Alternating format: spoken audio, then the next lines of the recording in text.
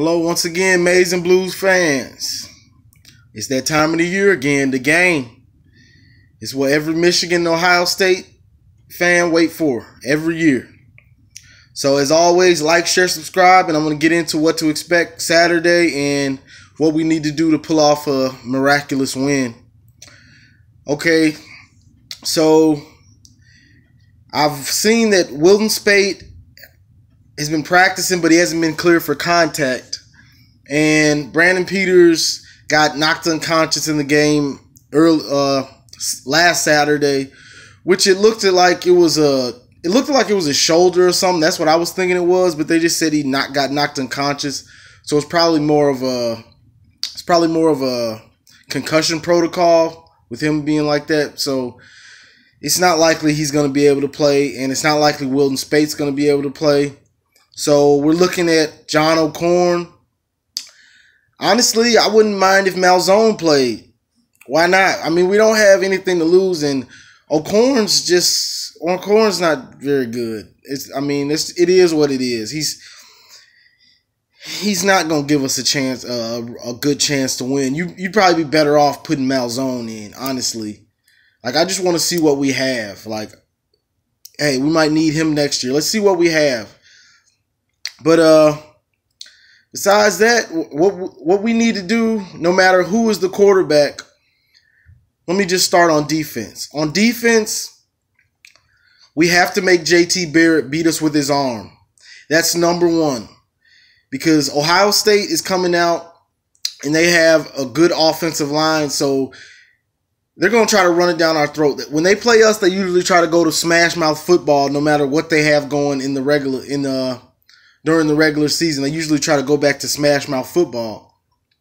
So we will need to to stop the run. And when I say stop the run, that means stopping J.K. uh, Dobbins and uh, Mike Weber is back. Great, he's back. He killed us last year in overtime, but uh, him and Dobbins, that's a that's a two headed monster.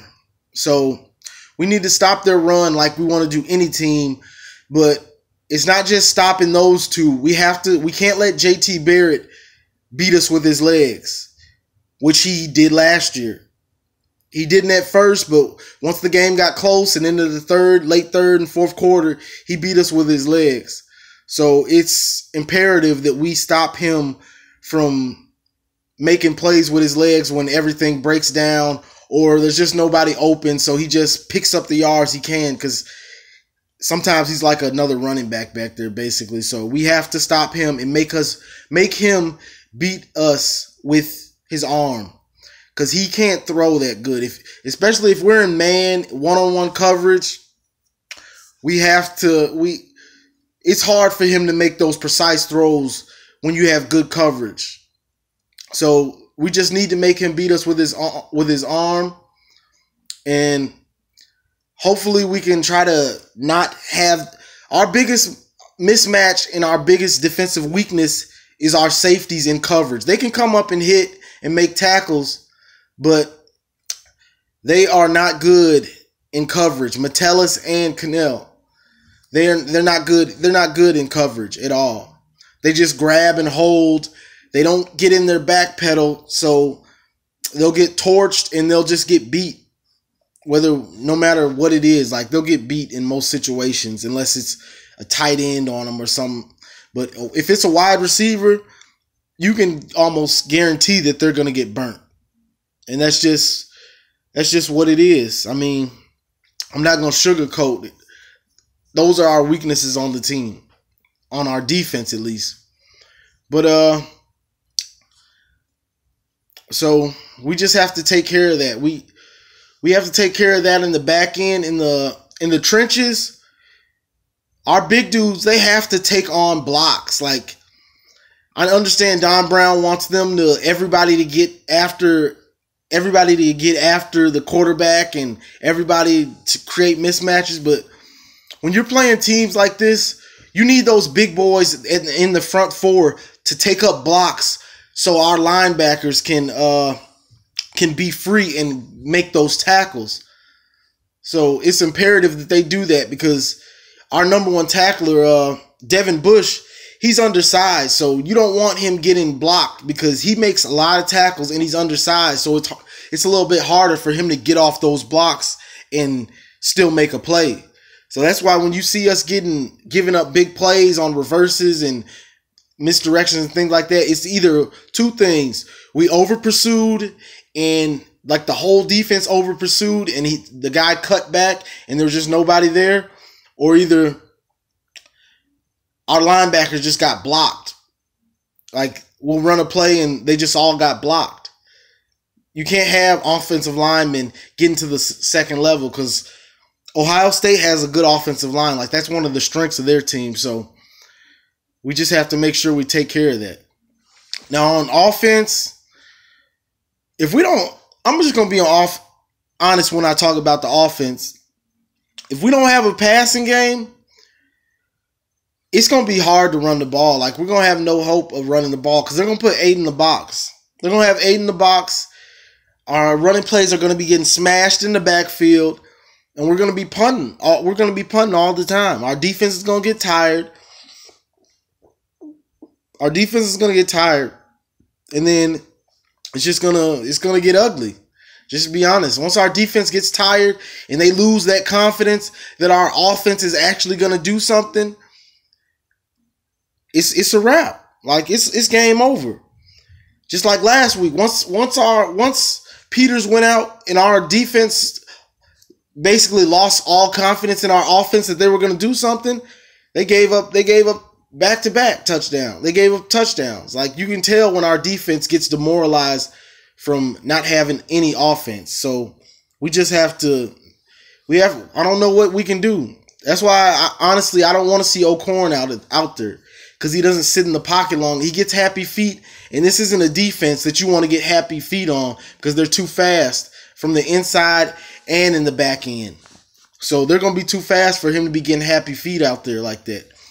Like you're gonna have to sit in the pocket when you have it and go through your reads. So honestly, put Malzone in. Put him in. See what he has. He can't be worse than O'Korn. He can't be.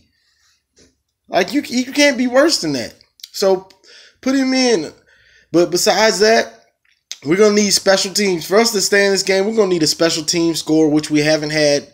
We had one one punt return by Donovan Peoples Jones, but besides that, like we're gonna we're just gonna need we're gonna need a miracle, honestly, for us to stay in this game and to win this game. We're gonna need a miracle with no quarterback, unless Mal unless he puts Malzone in, I, I'm not gonna have really any hope unless JT Barrett just has a horrible game and just turn keeps turning it over. You know, just one of those games where every time they get the ball, everything goes wrong. Like they're just turning it over, picks, picks and uh, fumbles just from special teams and all over the place. Like we're gonna need one of those games for just us to stay in it. Because if we don't have a passing game, they're gonna be they're gonna have eight in the box and they're gonna be smashing us in the mouth every time we run the ball, and we're just gonna be punting it because Harbaugh gets conservative and he tries to trust the defense, but you, you can only trust your defense so much when they're on the field so much, and it, it's not like we're playing a bad team. Like Ohio State is always ready to play Michigan, always. So they're gonna be prepared to come out there and do something.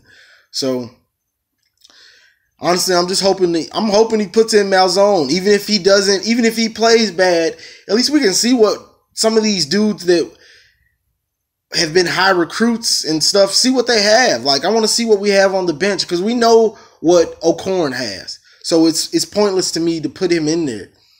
He doesn't give you the best chance to win. I don't I don't believe that. Just like Peters, he had Peters on the bench and I know people always say, "Oh, you're not in practice and all this and all this," but Harbaugh Harbaugh has been known to be stubborn when it comes to quarterbacks. Once he believes in a guy, he doesn't like to change it out unless he ha- unless that guy gets hurt and then somebody is forced to play. Besides that, he doesn't like to switch quarterbacks like just because he's playing bad. He doesn't like to do that. O'Korn just basically gave him no choice, and no once he put in once he uh O'Korn was playing so bad, he didn't really have a choice but to put in Peters. Like it's like I can't get, he can't be any worse. So I'm like, put in Malzone. He can't be any worse than what O'Korn plays. But uh, besides that, I'm just hoping for the best. Like, I mean, but I'm I'm just a realist. Like I don't, we can't run the ball on offense with, without a passing game. Like it just doesn't work like that. I played too much football and watched too much football to to even act like it does. If you can't run the ball, I mean, if you can't pass the ball, you're not going to be able to run it unless you have a hell of an offensive line. But it's just, it is what it is. I mean, anybody knows that. So we only got two hopes on offense. Uh, just a, a, a magnificent, a, a magnificently skilled uh scheme like if he just comes out with some type of scheme to exploit some type of mismatch on Ohio State's defense, which is going to be bad because Ohio State has one of the best D lines in the in college football. So it's going to be hard to even pass and run on them anyway because of that. So my only hope is maybe he watches the watches the uh, the Iowa game and see if he can pitch, pick up some stuff from the Iowa game. Besides that, there's not much I can say to give us hope to win. Like we're gonna have to play an A plus game in every phase of the game. That's kicking, special teams, offense, and defense. I mean, if our defense plays a, a A plus plus game, then we may be able to stay in it and then get it to the fourth. If not, then it's it's not likely. But uh that's all I got. I mean, I'm hoping for the best. So as always, go blue. Let's let's let's find a way to get it done.